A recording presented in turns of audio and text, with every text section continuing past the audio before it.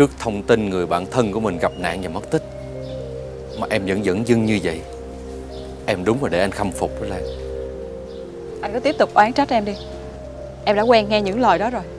Nếu như mà anh cảm thấy hài lòng Và thoải mái khi trách cứ em. Tôi không ngờ á bà là người như vậy á. Tôi với trung á luôn tìm cách để giúp bà thoát khỏi nơi này. Còn bà thì tôi không nói với bà nữa. Bà á không xứng đáng nói chuyện với tôi. Tôi khinh bà Thôi Bây giờ tao với mày đến báo công an đi. Vậy đi. Đó, Chắc giờ này Yến đang ở nhà rồi đó. Tôi không tin. Tin hay không đó là tùy hai người. Đi mày. Đi đi.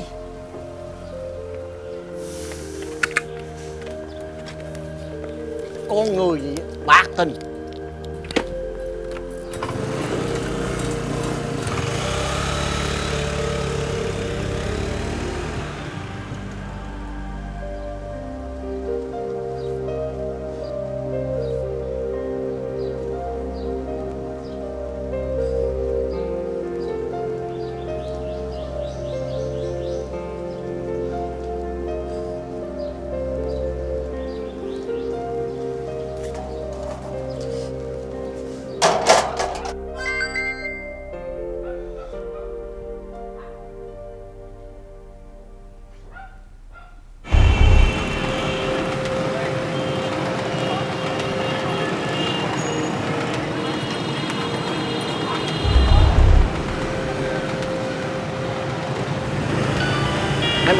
mày mày tấp vô lại tao nghe điện thoại đi coi Vậy? Tấp vô tao nghe điện thoại. Lại vô đây đi.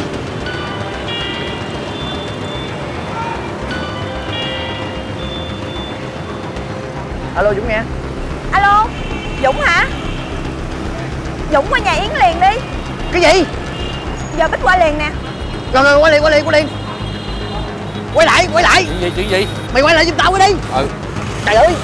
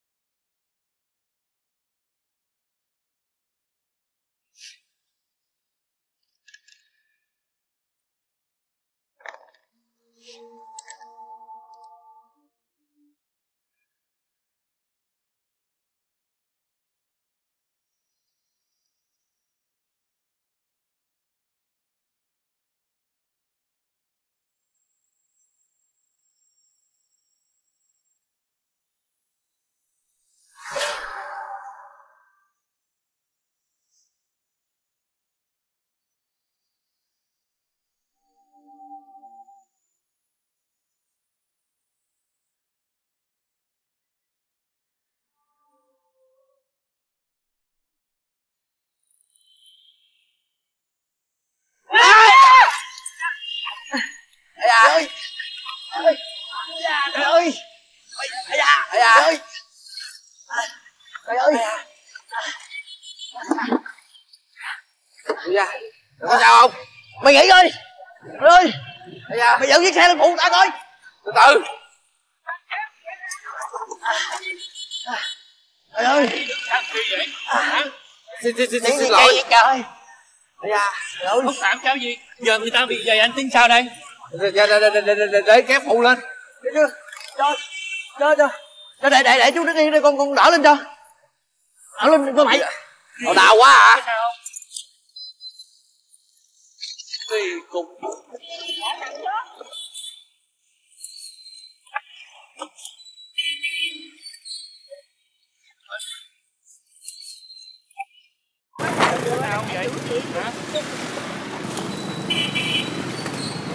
chú bỏ qua cho cho cho con tụi con đi đi chú. Dạ chú chú chú chú không có sao rồi chú cho tụi con đi cho chú. Tụi con đang có chuyện gấp lắm. Tại vì tụi con có chuyện gấp thôi chú cho tụi con đi cái chú. Tôi cũng không sao. Lỗi tại tôi tự chất cao quá tôi không thấy. Thôi mấy chú không có gì thôi mấy chú đi đi. Dạ cảm cảm, cảm ơn chú. Chú cảm ơn sao chú. rồi cứ đi đi. Dạ dạ dạ đi nhanh lên. Để cái phục cho thiệt tình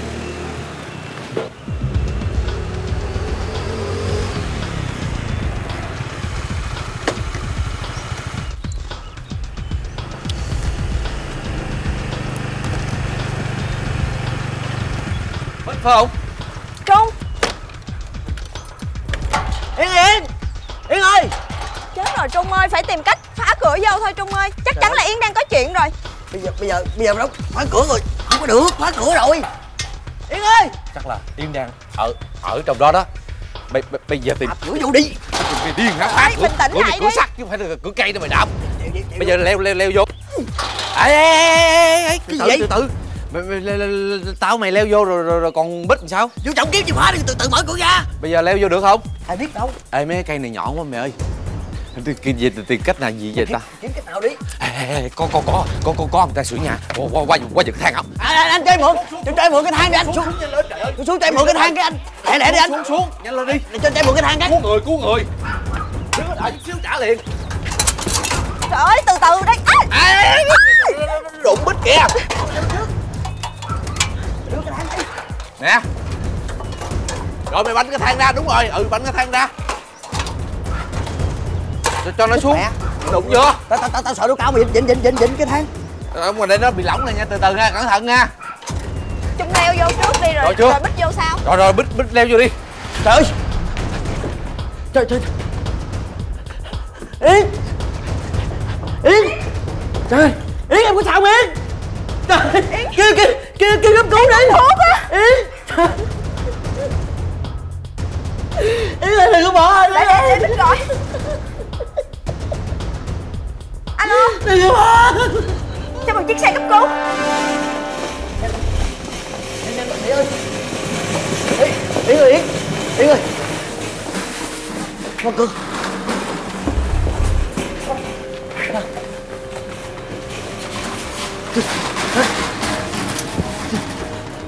cấp cứu trọng mà. Yến Yến Yến Yến có sao không mày? Trời ơi Em ơi em Đừng đừng có bề gì nghe Yến. Có, có bề gì là tôi đi tu luôn đó.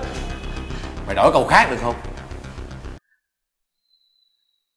Mày tào lao không có gì đâu mày ơi. Ngồi đi. Để lên. Thôi đi lại đây ngồi đi. Bích rồi đi bích. Bình tĩnh lại đi xuống đi để bác sĩ người ta làm việc.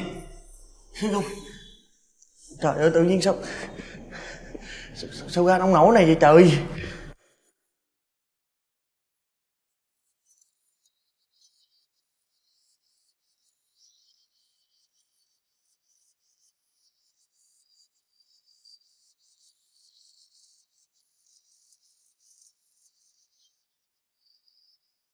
Bạn bè ta người yêu ta. Từng người từng người. Từ thương yêu dần chuyển sang ghét bỏ ta. Căm thù ta. Khinh khi ta. Rồi miệt thị ta. Mặt trời mọc rồi lặn nhưng cuộc đời ta chỉ chờ những ngày chìm đắm đi. Chứ chẳng thể trở mình thức dậy. Nó sẽ chẳng bao giờ thấy được ánh sáng bình minh ló dạng. Nó sẽ chẳng có chu kỳ tái sinh cũng là lan. Cũng là cái thân thể này, hình hài này. Nhưng lan của ngày hôm qua sẽ chẳng bao giờ trở lại nữa. Con lan của ngày hôm nay cũng trượt dài Trượt dài vô định luôn.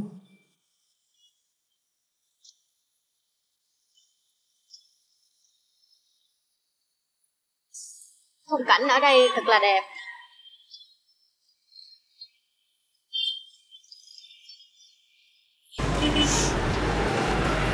Cuộc đời là như vậy em ạ. Đôi khi muốn được thành công, chúng ta phải hy sinh, kể cả đánh đổi. Em cũng đừng nên lấy điều đó mà làm buồn. Nhưng đó là một người bạn thân nhất cuộc đời này của em Chị biết. Nhưng đôi khi chúng ta cũng phải đạp lên bạn để sống, để thành công em ạ. Có nhất thiết phải làm vậy không chị? Rồi ông trời có thể dung thứ Cho một kẻ sống như em. Chị biết, quyết định đó của em cũng rất là khó khăn. Nhưng cuối cùng em cũng đã hoàn thành. Thì em buồn làm chi?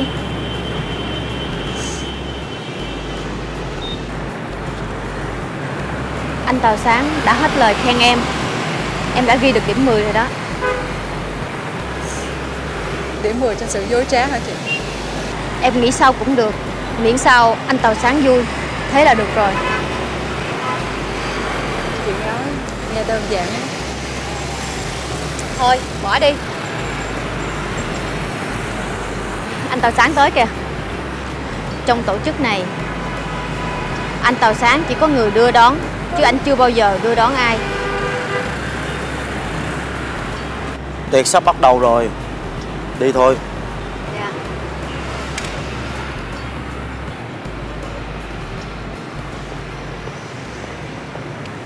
Ngày xưa Chị đã phấn đấu một thời gian dài Mới được lọt vào mắt xanh của anh Tào Sáng. Bây giờ á Chị uy quyền và quyền lực quá rồi con gì Dưới một người Nhưng mà trên tới dạng người lận. Chị đã đánh đổi rất là nhiều thứ Hơn cả những gì em đang đánh đổi bây giờ. Em thì hơn chị ngày xưa rất là nhiều.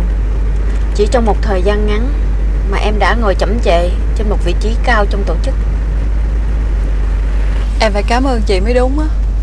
Em có được ngày hôm nay Tất cả cũng nhờ chị hết á. Anh Tàu Sáng rất là có tầm nhìn Và ngay của chị cũng vậy.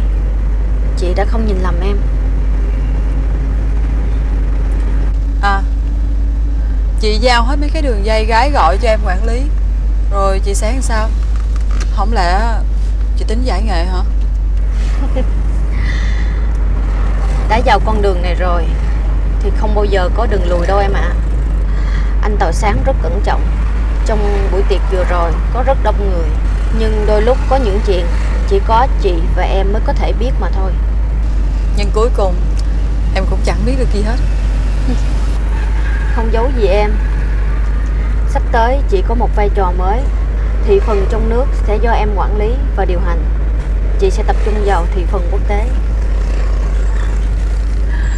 Chúng ta đang làm ăn phi pháp Mà chị nói nghe giống y như là chúng ta đang làm kinh tế vậy đó. Có cả thị phần lẫn thị trường. Điều đó là đương nhiên rồi em. Chắc chắn anh Tàu Sáng sẽ không dừng lại ở những mặt hàng mình đang có. Sau này em chỉ cần ngồi một chỗ và điều hành. Còn về phần lợi lộc thì em thừa hiểu mình sẽ được những gì rồi. Chị nghĩ là chúng ta sẽ có mãi cái cơ hội để hưởng lợi lộc hay sao? Em đang lo xa hay là em đang hù dọa chị đó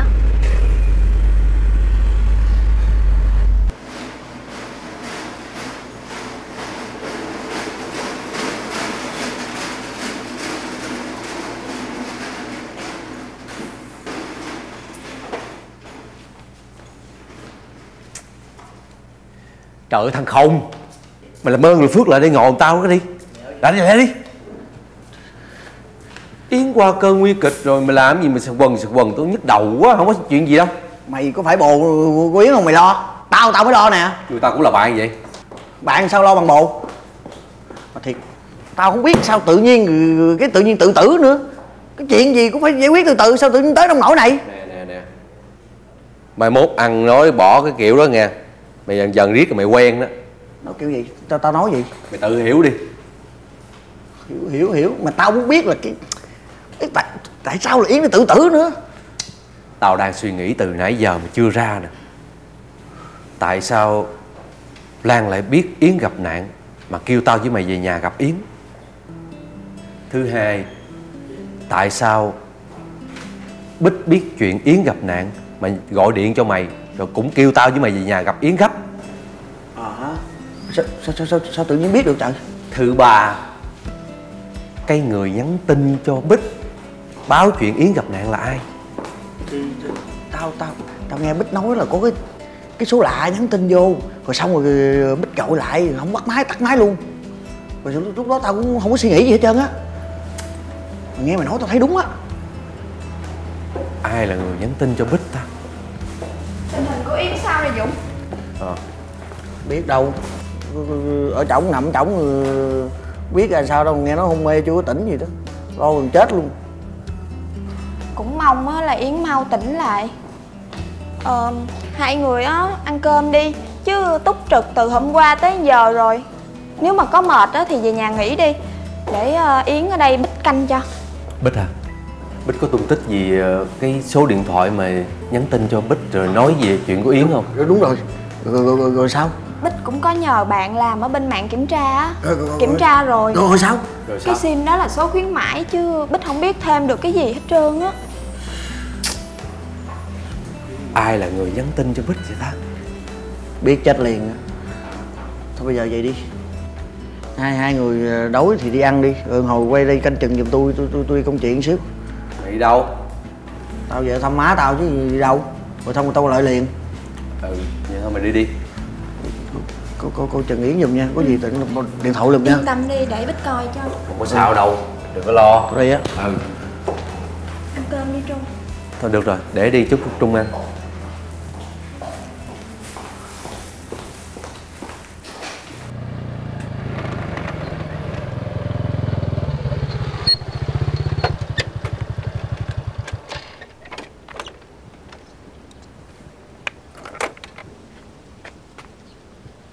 lan ơi lan Thằng nhóc kia chị lệ Mày là ai biết tin tao nữa mày chị nổi tiếng mà ai không biết chị có lan nhạo cho em gặp lan chút luôn chị. Không có. Chị chị nhắn với lan là có thằng dũng tìm có chuyện gấp được không? Không có được. Con Lan không có nhà. Tao cũng Nói- chẳng biết mày là ai nữa. Chị không cần biết tôi là ai chị chỉ cần nhắn với lan là có dũng tìm. Vậy thôi.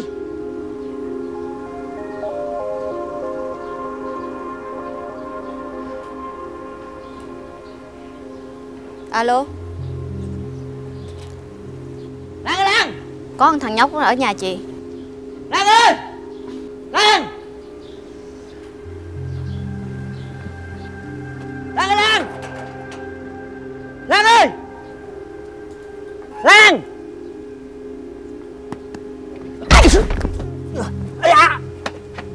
Tao nói cho mày biết nha mày. Mày không bao giờ được bén mảng tới đây. Nếu mày còn bén mảng tới này nữa tao đánh mày chết luôn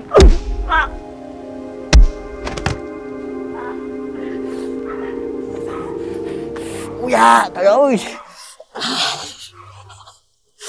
Trời ơi trời. Ây da. Ôi da.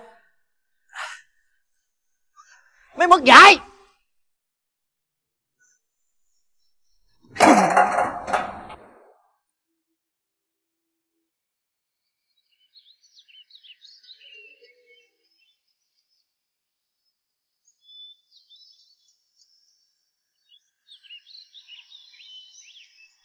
Thấy lập luận của Trung là đúng đó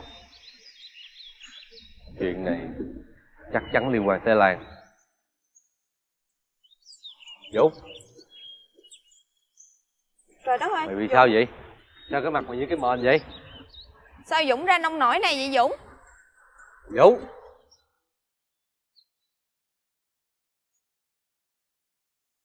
Đi đâu vậy ông? Ê Mày bị đánh vô đầu hả? Tao đập bị gì mày làm gì lại tao? Tao rối quá. Tao bây giờ nói thiệt với mày Chỉ có ơn trên mới mới giúp được tao thôi. Tao thấy là không ổn rồi. Chuyện gì sao cái mặt mày vậy? Bị giang hồ quánh giang hồ rồi đánh mày. Tao qua nhà bà lan. Ừ, tao biết bà lan tao biết mà yến mất tích.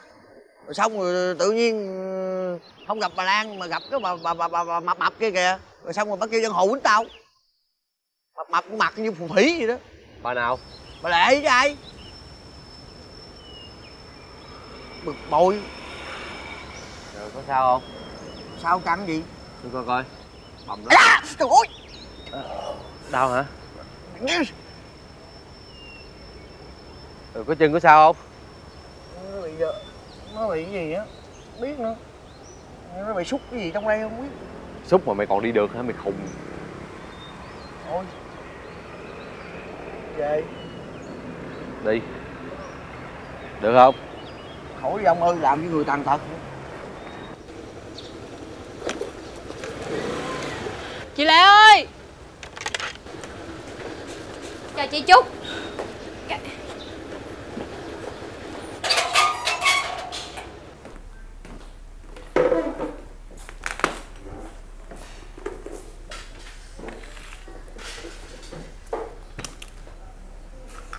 Em làm cái gì mà có thằng Dũng rồi đến tìm em vậy? Dũng tới tìm em hả Cái thằng à, vừa lùn mà vừa sến mà vừa xấu nữa Là bạn học em đó à, Bạn học em Vậy sao nó biết đây mà đến tìm em vậy? Em cũng đang thấy thắc mắc về điều đó nè Chị đã dặn em như thế nào? Đừng để người quen hay người thân tìm tới mình Vậy sao nó biết đường đến đây mà tìm? Em cũng đang thắc mắc về chuyện đó. Em nói nghe mắc cười quá. Chị tin em hay không á thì tùy chị.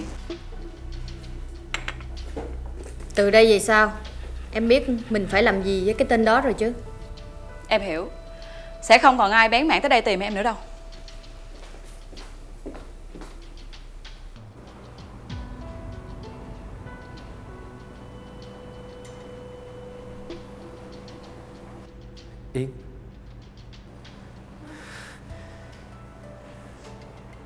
Bích ơi chắc Yến chết quá Bích ơi. Yến bình tĩnh lại đi Không có chuyện gì mà phải chết hết á. Yến bình tĩnh đi Mọi chuyện rồi sẽ có hướng giải quyết mà Không sao đâu. Không còn cách giải quyết đâu Trung Bây giờ Yến bị ô nhục quá rồi. Yến à Yến phải thật bình tĩnh. Mọi chuyện sao Yến kể cho mọi người nghe đi. Yến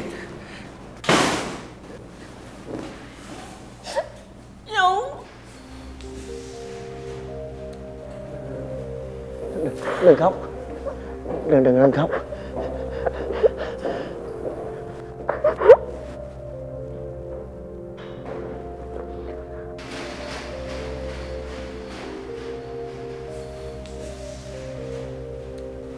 Trung có thể đoán ra sự việc rồi? Bích cũng vậy. Đợi Yến tỉnh lại Mọi việc sẽ sáng tỏ.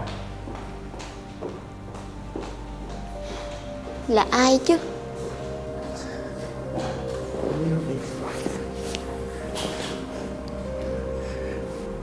đừng có chuyện gì kể cho dũng nghe thử coi. Yến. Yến. Nói đi nói cho dũng nghe đi. Yến bị người ta làm nhục vì Dũng ơi. Làm nhục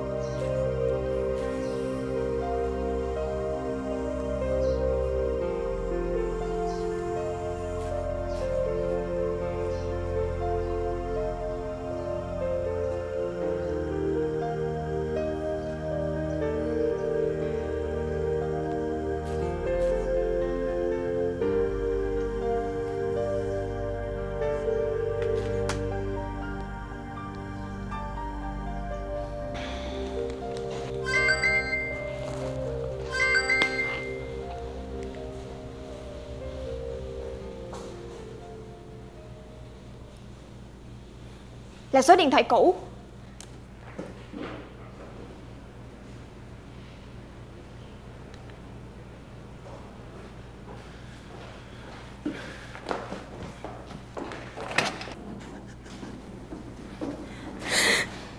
Yến Yến bình tĩnh lại đi Yến đọc đi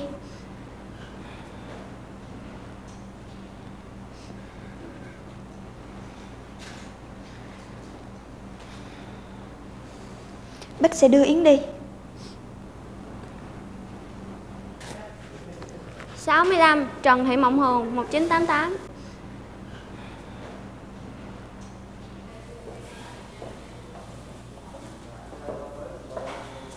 Trời ơi Sao mà lâu dữ vậy? Mình đã nộp hồ sơ từ nãy giờ rồi mà. Yến nghĩ là chắc cũng sắp tới rồi. Đợi thêm xíu đi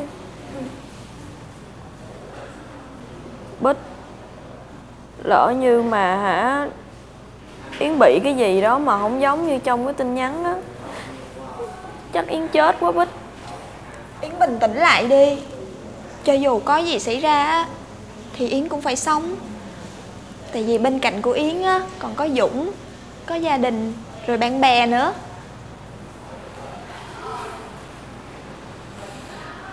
Yến sợ. Bình tĩnh đi Không có sao đâu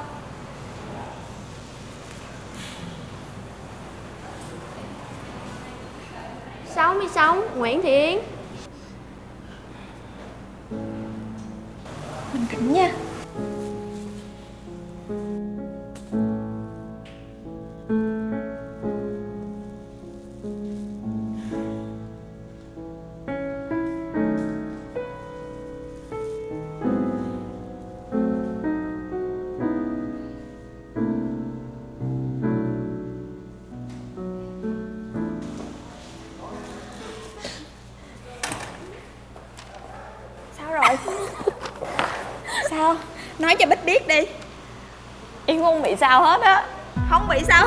Không?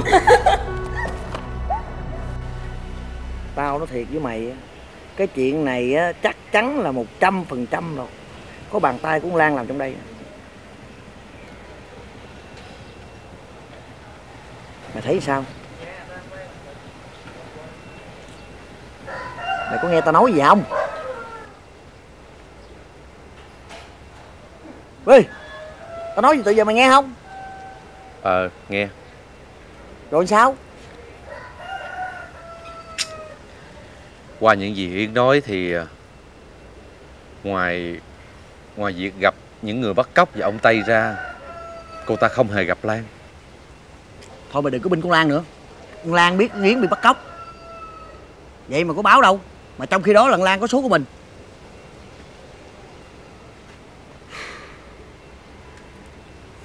Đương nhiên là Tao với mày phải tìm Lan gặp để nói chuyện. Nhưng trước tiên Phải đợi Yến với Bích về hỏi ra mọi chuyện cái đã. Trời nắng chang chang gì mà sao không chịu về đi trời. Ráng đợi chút nữa đi. Gán gán Tao cũng như lửa đốt trong người vậy gán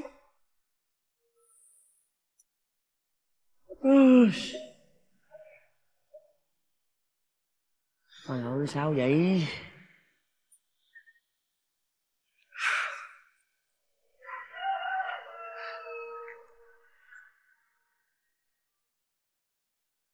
Ờ trời tới khi nào đây trời ơi Em ơi em về lẹ lẹ đi em ơi. Đừng có lèm bèm được không? Đầu quá.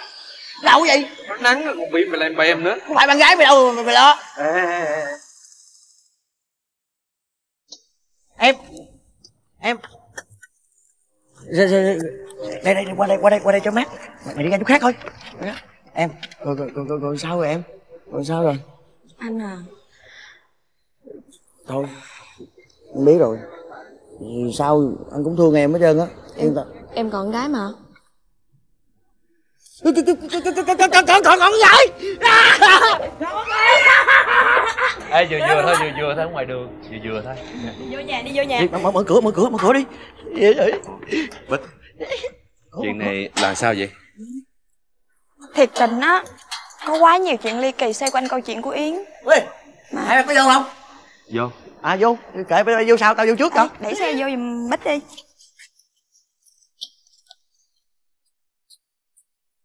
Ê, ra phụ mở phụ cửa coi. Ủa còn chiếc xe nữa hả? Bởi vì, bởi vì mày thấy, thấy bộ về là bỏ xe luôn à. Mày dẫn chiếc đó dẫn chiếc này cho.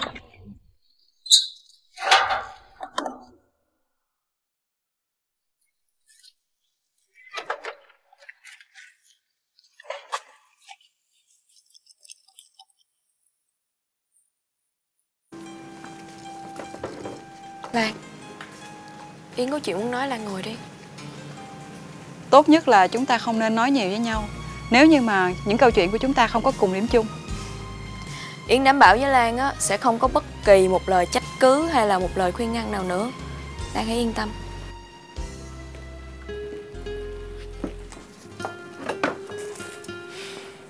Lan không có nhiều thời gian đâu. Có chuyện gì á Thì Yến tranh thủ nói mau đi. Yến muốn hỏi Lan Là chuyện của Yến. Có liên quan đến Lan đúng không? Yến đang hỏi chuyện gì vậy? Yến nghĩ là Lan thừa hiểu Yến đang muốn nói về điều gì mà. Thật tình là Lan không hiểu. Yến đang hỏi Lan chuyện gì hết á. Linh tính của Yến mách bảo rằng Lan chính là người đã cứu Yến trong đêm đó. Có đúng không Lan? Yến à Yến đang dần xa đà vào cái câu chuyện Mà Lan không hề biết đến. Hơn nữa Yến muốn làm chuyện gì hay là suy nghĩ đúng sai Thì nên dựa vào lý tính. Đừng có dùng linh tính của mình mà phán đoán sự việc nữa. Đừng chạy trốn nữa Lan. Lan đừng cố tỏ ra như Lan không biết gì hết. Chính thái độ đó của Lan đã cho Yến biết. Lan là người hiểu rõ, biết rõ tất cả mọi chuyện. Nếu không còn chuyện gì để nói nữa Yến có thể ra về. Không thì Lan có thể rời khỏi đây bây giờ Điều gì thì Yến cũng cảm ơn Lan nhiều lắm. Yến đi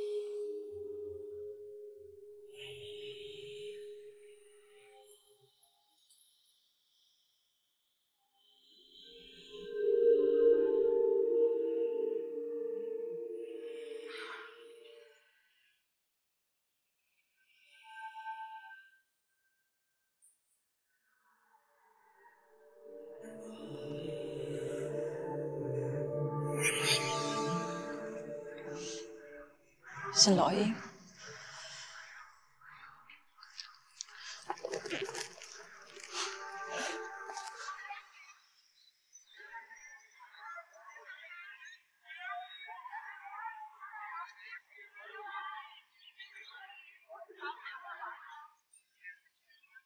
Yến qua những chuyện đã xảy ra, tôi mới thấy tôi thật sự không thể nào thiếu yến được.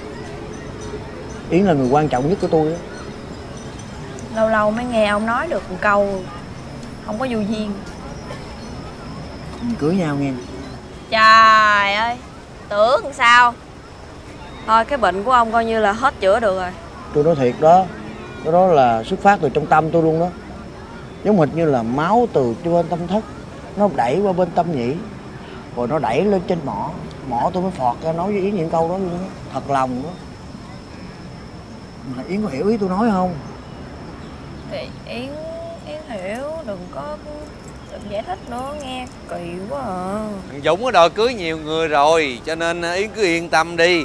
Ờ, Nó biết cách ờ, nói chuyện vui Làm cho người khác ờ, không có cảm thấy buồn Không có thấy giận gì hết á. Dũng nó hay ở chỗ đó đó. Mày đang phá tan một không khí lãng mạn của tụi tao đó. Mày muốn ăn cái gì nấu cho tao bao cho. Tao thấy lãng xẹt chứ không có lãng mạn. Còn về cái phần mà ăn mày bao á Thì xin lỗi mày ha Sẵn có Yến ở đây. Thôi để uh, Trung nói về con người của thằng Dũng Để cho Yến hiểu rõ nó hơn. Nó thật ra nó rất là tốt. Nó không có bậy bạ, không có xấu gì hết đó Nhưng mà xích vô tao nói chuyện cho nghe. Ngồi xa xa đừng ngồi gần gái người ta quá. Nhưng mà mỗi lần á mà có chuyện gì mà xong rồi cái nó đòi đãi trung đi ăn á thì y như rằng là 10 lần đủ 10 lần. À, tính tiền cái là nó bị đau bụng nó không bị đau bụng á thì bến tàu cũng gọi nó có công chuyện. Bến tàu không gọi nó thì nó cũng có điện thoại đột xuất. Nó không có điện thoại đột xuất thì nó cũng uh, má nó kêu nó về với nơi mà sản xuất nó ra. À thì đó cứ như vậy xong là cái là là trung trả tiền. Thì cứ lần nào cũng như lần nấy thôi. Thì uh, yến cũng nói thiệt là chu không cần nói yến cũng biết. À tại vì trung muốn nói rõ. Không cái gì con chim gì? Đây con đại bàng nè. Nhìn con đại bàng nói chuyện vui hơn nhìn con chim ha. Nói để hiểu rõ hơn người nó thôi. Mày đâu có cần sỉ nhục. Tao trước mặt của Yến vậy có một lần à mày sỉ nhục tao hoài sao đâu? Chày nhau ha. Nó giỡn thôi. À, yến cho trung hỏi cái. Lan sao rồi? Thiệt ra yến nghĩ là lan chính là người đã cứu yến á. Mày có nghĩ vậy không? Tao tao không nghĩ vậy rồi đó Không ai tự nhiên đi hại người ta xong rồi cứu người ta hết trơn. Rảnh. Thiệt á là yến không có biết là nguyên nhân tại sao mà ừ, lan hại yến rồi lan cứu yến thiệt là yến không có biết. Nhưng mà yến chắc chắn một điều là trong con người của lan có một cái chút gì vẫn là người tốt vẫn còn xem tụi mình là những người bạn rất là đặc biệt. Chỉ có điều là Tôi là tôi không tin rồi đó. Mày tin không lan luôn tìm mọi cách để tất cả bạn bè nghĩ xấu về cô ấy lan muốn chúng ta quên và ghét bỏ chính mình. Tào lao Mày nghĩ tốt cho người xấu rồi đó. Tao tao không tin đâu. Tao hận cuộc đời này quá. Tao cũng vậy. Cuộc đời này chẳng có gì là tươi đẹp cả. Ngày tàn của gia đình tao cũng đã đến rồi Mày lo cái gì? Chỉ là kê biên tài sản thôi mà. Mà mày cũng còn đến 2 tỷ để xài dần. Tao nghĩ mày xài cả đời cũng không hết nữa. Nhưng mà mấy năm nay á, Tại vì tao ăn xài hoang phí quá. Nên mà nếu bây giờ còn một nửa, Chắc đã là may lắm rồi. Đừng có lo. Hết tiền. Khi này không có Thì khi khác sẽ có. Nhưng mà không có tình Thì mới khiến người ta đau khổ đó. Mày nói cũng đúng. Chỉ vì chữ tình thôi Mà bà già tao á Đã làm cho gia đình tao ra nông nổi như vậy. Nếu mà không có con Lan Thì Trung đã làm của tao rồi. Phải chi không có con Lan. Cũng không có thằng hùng khốn nạn đó. Là nhà tao bây giờ Đã có một cuộc sống rất là tươi đẹp. Nhưng mà tao thấy vậy hay á mày. Như vậy á Làm cho bà già tao bả sáng mắt ra. Ừ. Nhưng mà mẹ mày sao rồi? Sao hả Thì bây giờ điên rồi. Chắc là cô sốc nặng lắm hả? Tao phải tự chịu trách nhiệm Với những quyết định và lựa chọn của tao. Số phận đã vậy rồi Phải cam chịu. Câu nói đó Chỉ đúng với gia đình của mày thôi. Còn tao Số phận Là điều mình hoàn toàn có thể định đoạt được. Mày đừng có nhắc lên chung nữa có được không vậy Với tao. Trên đời này nếu không có thành chung Thì con Trinh này Sống cũng chẳng còn ý nghĩa gì nữa. Thôi được rồi, được rồi, nhức đầu quá đi. Tối đi ba được chưa? Ờ, cũng được. Nè tối cho anh đi chung được không? Thích thì chiều. Nhớ nha. Anh hứa làm bao nha. Chuyện nhỏ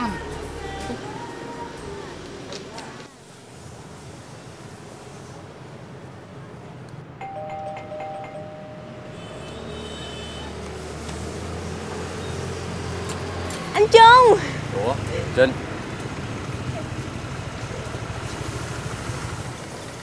Anh. Tao vô nhà đi. Dạ.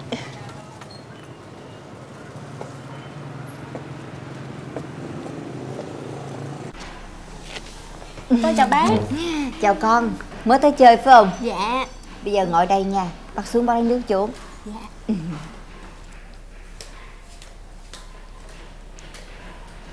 anh đừng né tránh em như vậy nữa được không? Anh chỉ sợ em hiểu lầm anh thôi. Hai đứa uống nước mát nè. Con cảm ơn bác Uống đi con. Cảm ơn mẹ. À, thôi Sẵn tới đây rồi à, để bác vô bác nấu cơm Rồi ở lại ăn cơm với bác nha. Ừ, Con. ăn